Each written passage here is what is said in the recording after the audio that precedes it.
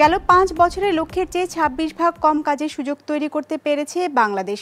মূলত বেসরকারি বিনিয়োগ না বাড়ায় এমন পরিস্থিতি তৈরি হয়েছে বলে মনে করে বেসরকারি গবেষণা সংস্থা সিপিডি। কোভিড চ্যালেঞ্জের কারণে আগামীতেও এতে খুব একটা ভালো করা যাবে না বলে মনে করেন বিশ্লেষকরা। এসব বিবেচনায় অষ্টম পঞ্চবার্ষিকী পরিকল্পনাতে বাণিজ্য ও শিল্পবান্ধব নীতি প্রণয়নের ওপর জোর দিয়েছে সিপিডি।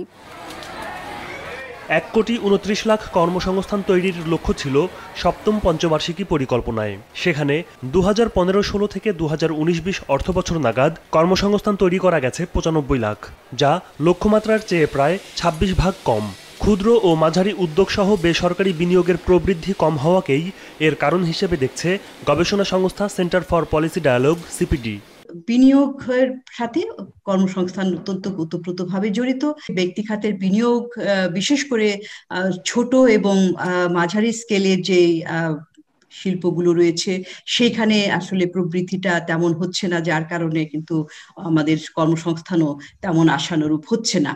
সিপিডির প্রতিবেদন বলছে দু হাজার পনেরো ষোলো অর্থ বছরে দেশে বেসরকারি বিনিয়োগ ছিল জিডিপির তেইশ ভাগ। দু হাজার উনিশ বিশ অর্থ বছরে যা হয়েছে, জিডিপির তেইশ দশমিক ছয় ভাগ। ব্যবসায়ীরা বলছেন, সপ্তম পঞ্চবার্ষিকী পরিকল্পনায় বেসরকারি বিনিয়োগ বৃদ্ধির জন্য ব্যবস্থা নেওয়া হলেও বাস্তবে তার প্রতিফলন নেই।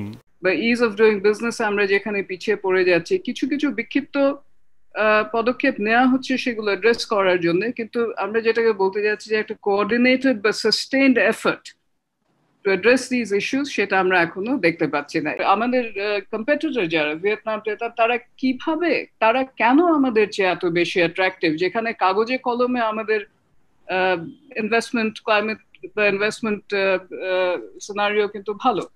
তাহলে হাতে কলমে হচ্ছে না কেন? করোনার কারণে নতুন করে চ্যালেঞ্জের মুখে পড়েছে শিল্প ও বিনিয়োগ।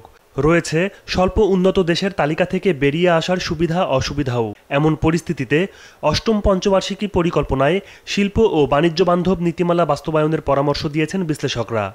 যে আগামী দু বছর বিশেষ করে আগামী দুই বছর আমাদের একটা রিলিফ দরকার। Relief from what? Relief from the virus.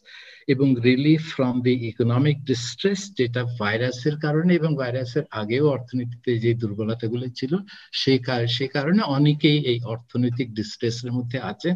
তাদেরকে এই ডিস্ট্রেস থেকে মুক্তি দিতে হবে। আমাদের মনিটারি পলিসি কি হবে?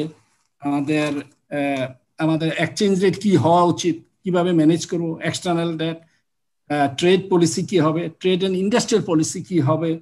ট্রেড রিলেটেড ক্যাপাসিটি কীভাবে আমার বিল করতে হবে, কোন মিনিস্ট্রি দায়িত্ব নেবে ইনভেস্টমেন্ট ক্লাইমেটটা কীভাবে ইম্প্রুভ করতে পারি, ইত্যাদি ইত্যাদি। আমি আর ডিটেল বলি না। একটা থর বাই সেক্টরস সরকার একটা কর্ম পরিকল্পনা গ্রহণ করেছে।